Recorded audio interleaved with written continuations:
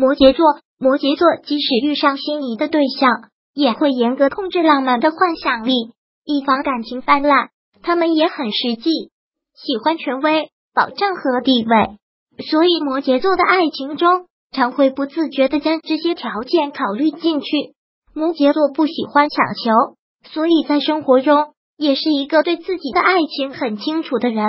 九月摩羯座桃花运总体也是有波动不断的。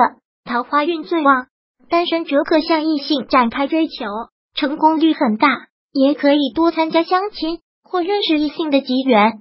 谈婚论嫁的也可顺利进行。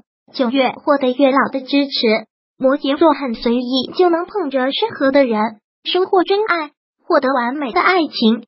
在九月，你们的愿望成真了，终于可以找到属于自己的桃花运和真爱。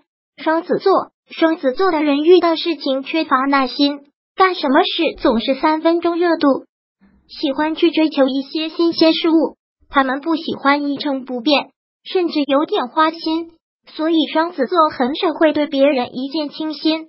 双子座的人大部分都是单身，相对来说结婚也比较晚。但在九月份，双子座被幸运女神宠爱，即将会和心爱的人相遇。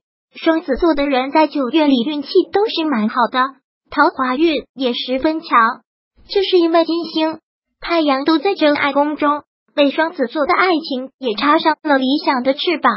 双子座有很多机会遇到新的木星，让他们的社交运气也十分棒。双子座适合站在光彩夺目的台上，尽情展现魅力，吸引众人的目光。射手座。射手座的人觉得每一段感情像是存在于身边的一朵花，能够让我们在感情中慢慢的感受到来自于身边的美好。每一段感情都是可以得到每一个人的青睐，这样我们就可以在感情中慢慢的将自己的未来照亮自己的感情生活，找到属于自己的完美曙光。九月份单身的射手座身边会有很多的异性，很是招人喜欢，爱情运特别旺盛。像不谈恋爱都难，这个时候就不要太挑剔了，赶紧把握机会，从中挑选出适合自己的伴侣，彻底告别单身汪的生活。有伴侣的朋友，感情甜蜜恩爱，如果可以适当加些浪漫的氛围和情趣，为平淡的生活增添色彩，对彼此的感情升温有很大的提高。如果喜欢本视频，请分享并订阅本频道。别忘了按赞哦！